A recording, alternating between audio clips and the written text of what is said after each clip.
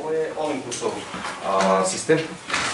Znači, Znači, Olympus, tu je procesor, kompjuter, to su ta dva štapa koje je direktor a, spomenuo.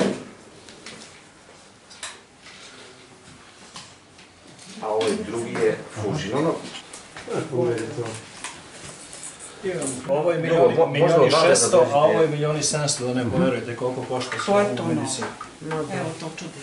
Uključi ga samo pa daj vrh Zokiju da vidimo na kameru kako to izgleda na ekranu.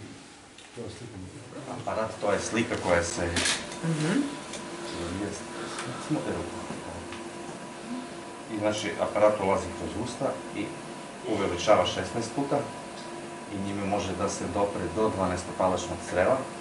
Ukoliko ima bilo kakvih promjena, to se rešava na licu mesta, ne samo u smislu polipa i biopsija, nego i kad je ovaj aparat u pitanju i svih drugih krvarenja, što je u značajnoj meri, ne u značajnoj meri, nego potpuno više nemamo pacijente koji operišu hiruzi. I koliko rutinski pregled bez nekih promjena traje? Šest minuta.